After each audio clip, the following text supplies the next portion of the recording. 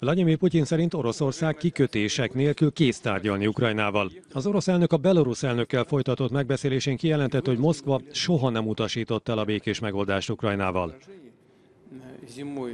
Putyin azt is hangsúlyozta, hogy Oroszországot nem hívták meg az ukrajnai konfliktusról június 15-16-án Svájcban megrendezése kerülő konferenciára.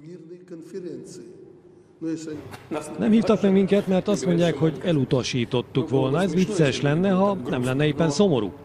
Még egyszer hangsúlyozom, hogy mi a tárgyalások hívei vagyunk, csak nem abban a formában, amilyen sémákat ránk erőltetnek, amelyeknek semmi közük a valósághoz, mondta Putyin Lukasenkának. A Krem elutasította az ukrán elnök békeformuláját, amely az orosz csapatok visszavonását és kártérítés megfizetését követeli, valamint a háborús bűnösök nemzetközi bíróság elé állítását.